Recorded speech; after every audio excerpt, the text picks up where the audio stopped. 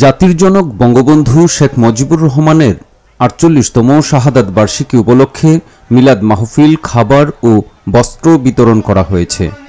ছাব্বিশ আগস্ট শনিবার দুপুরে নারায়ণগঞ্জ সদর থানাধীন সৈয়দপুর নাসিম ওসমান তৃতীয় সেতু চত্বর এলাকায় এই অনুষ্ঠান অনুষ্ঠিত হয়েছে। সদর থানা কৃষক লীগের উদ্যোগে এই অনুষ্ঠানের আয়োজন করা হয়।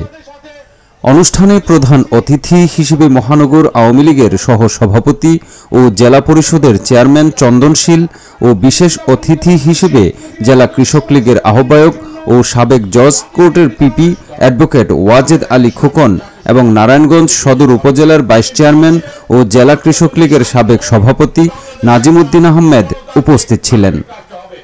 অনুষ্ঠানে বক্তারা জাতির জনক বঙ্গবন্ধু শেখ মুজিবুর রহমানের স্মৃতিচারণ করেন।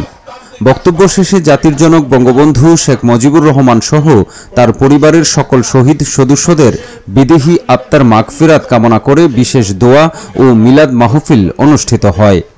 দোয়া শেষে দুস্থদের মাঝে বস্ত্র ও খাবার বিতরণ করা হয়।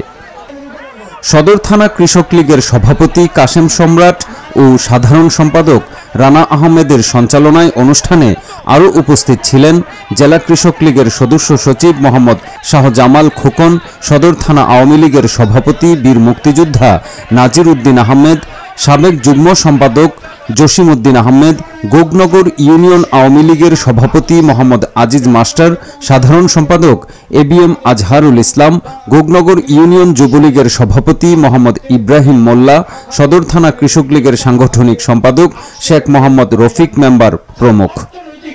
বিপ্লবের যে কর্মসূচির ডাক নিয়ে তিনি পনেরোই আগস্ট শাহাদত বরণ করেছিলেন, সেই কর্মসূচি আমাদের জননেত্রী শেখ হাসিনা কৃষক সমাজের মাধ্যমে বাংলাদেশের প্রতিটি গ্রামে, গঞ্জে, উপজেলায়, সদরে এবং জেলাতে প্রতিষ্ঠিত করে কৃষক ভাইদের ভাগ্য উন্নয়নের জন্য কাজে হাত দিয়েছেন।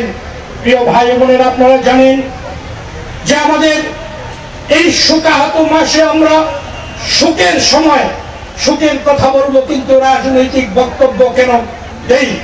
কারণ আজকে সামনে কি কঠিন সময়ে আমাদেরকে পালন করতে হয়েছে।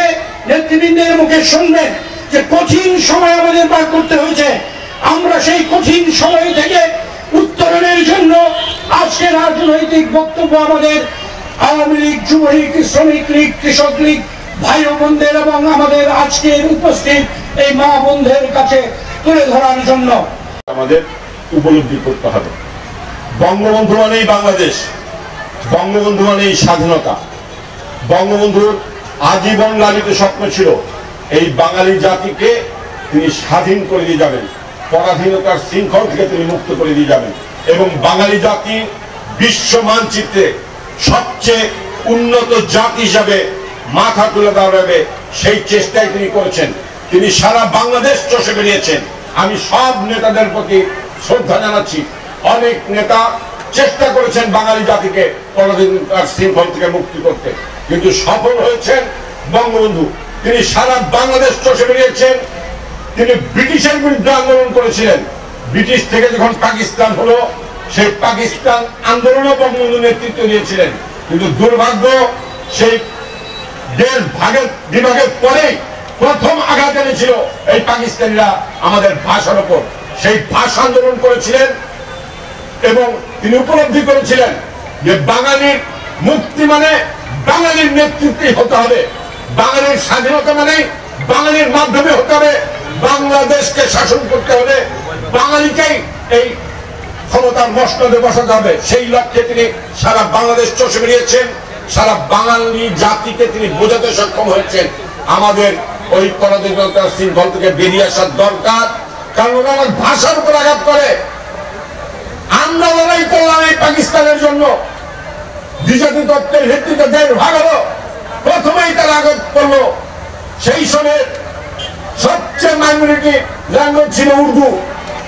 সবচেয়ে মেজরিটি মেজরিটির ভাষা ছিল বাংলা। সেই ভাষাকে উপেক্ষা করে আরও পাকিস্তান আরও অনেক ভাষা, অন্যান্য ভাষা ছিল।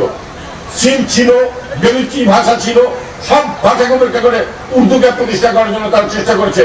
বলেছেন Urdu Urdu side state language of Pakistan Bangabandhu gorge উঠেছিলেন সেই সময়ের বাঙালি সমাজ বুদ্ধিজীবীরা ছিলেন গর্জ উঠেছিলেন বঙ্গবন্ধুকে গ্রেপ্তার করা হয়েছিল।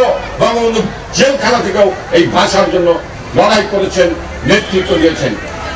বঙ্গবন্ধু বোঝাতে সক্ষম হয়েছিলেন। আমাদের পরাধীনতার শৃঙ্খল থেকে বেরিয়ে আসতে হবে। পাকিস্তান থেকে আমাদের বেরিয়ে আসতে হবে।